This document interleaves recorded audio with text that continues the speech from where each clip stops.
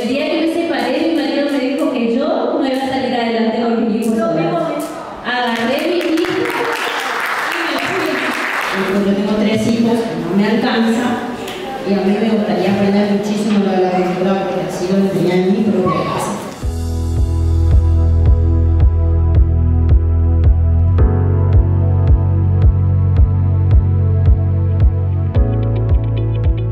Yo soy María Belén Sarmiento, soy arquitecta. Me parece muy importante que la mujer empiece a pisar lugares donde no pisó. Me sorprendió cuando me invitaron y dije, ¿por qué no?